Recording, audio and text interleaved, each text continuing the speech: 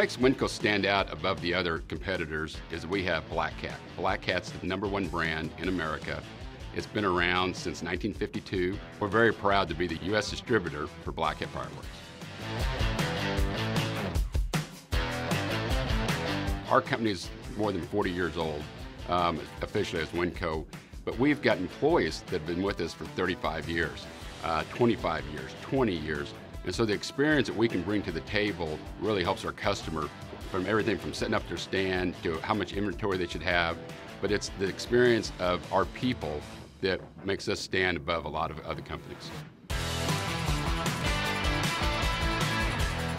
We started out with one fireworks stand, as my, my two brothers did, and we've grown from there to uh, one of the major importers in the United States.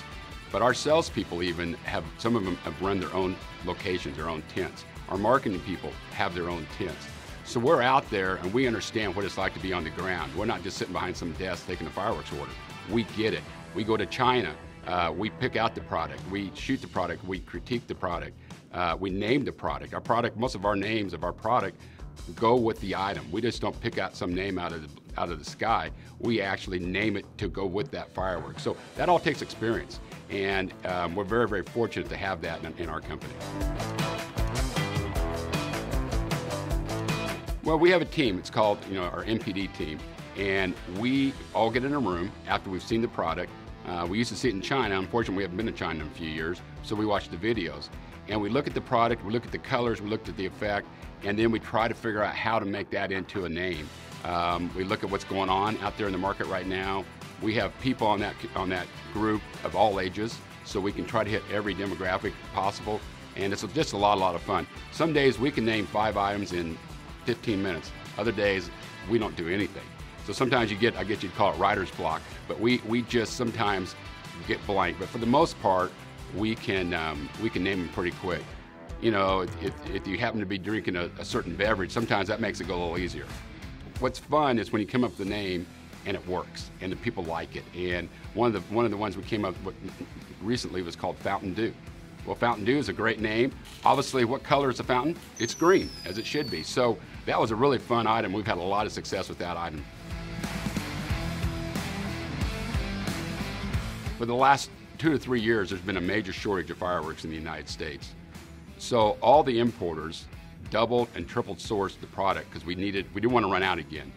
Well, China came through, and now there's an abundance of product in America. Um, so that's at, at, at a higher freight rate. The freight rates have all gone down. However, there are also a lot of holes in the industry as far as different product lines. So there's still a lot of product needs to come in. China was obviously needs to produce less fireworks this year because there's so much inventory, and the production was going great, and then they got hit with COVID again. The other good news is there's not as much product coming into the United States as there was of any type. So we think we can get the product through the ports a little quicker. So product leaves later, we think we can still get it on time. The other great news that's, that's really exciting is a, small part of our industry is the New Year's season in the southern states.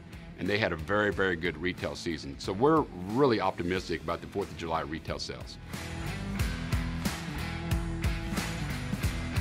Fortunately for the customer, that it's not as big a deal as it has been in the past. But there's going to be some deals out there. It's going to be a little bit confusing to the wholesale customer this year. For instance, we might have a bunch of stuff left from last year that we paid a lot higher freight. In other words, almost $18,000 more in freight last year for a container of fireworks than we did this year. So we're having to lower our margin to make it affordable and also to match or get closer to the product coming in now at a lower freight rate. The wholesalers are going to see all kinds of crazy prices out there. And I think as a, as a, if I'm a customer, don't just go after that one cheap item. You got to look at the whole line. What we're doing at Winco Fireworks is we're going line by line. Every price list we've looked at line by line, and we're trying. We've lowered margins where we, where we can, and in other cases we've not. You know, we've got the new freight rate because we, we were out of that product, so now it's going to be much cheaper than last year. So you're going to see a, a fluctuation of, of, case prices to the wholesaler of as much as $25 a case over last year. So it's it's and it's just going to be a very interesting year to say the least. We consider our customers partners. We talk about, we've had some, some employees here for a long time. We've had customers here for more than 40 years. And so we are just loyal to our customer. We're honest with our customer, and we just think that, that what we bring to that customer is something that they can count on. When they when Winco tells them something, they can pretty much always count on it. The other thing is investment. We have invested all of our you know extra earnings back into the company. We now have seven distribution centers that we've got a lot more um, you know a lot more room for product.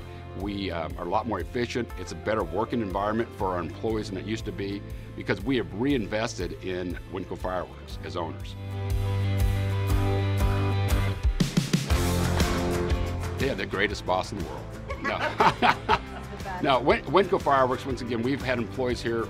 We treat our employees very well, but we expect a lot of our employees. We're very flexible in the off season, but come May and June, we're not very flexible. But our team always comes and, and does what they need to do to get the job done. And believe me, in the last three or four years, we've had obstacles we never dreamed of. But, but I think people see Winco as a team that they want to be a part of that team because they see when we get it, it, with challenges that we all work together and, and we hopefully reward them enough for that. Um, just recently, in the last couple years in the off season, we get every other Friday off. It just is an extra, that doesn't of get your PTO days or your vacation. It's a complete different, you know, extra day off because we think that people can get their work done. But we hope that Winco, people want to work at Winco because they see that people have been here for a long, long time and there's a reason they're here. They like the environment and uh, it's, it's, a, it's a pretty good working environment. You know, I, I, just think it's working with our employees and our customers. It's, I love people, and, and you know, I'm very fortunate I get to work with, with great employees, and we also have some great customers. Um, I've got the experience going to China, so there's just been a lot of different things. I'm very involved in the Fireworks Association, which makes a big difference in the fireworks industry, but at the same time, I've got friends in the industry as well because of our association with the Fireworks Associations.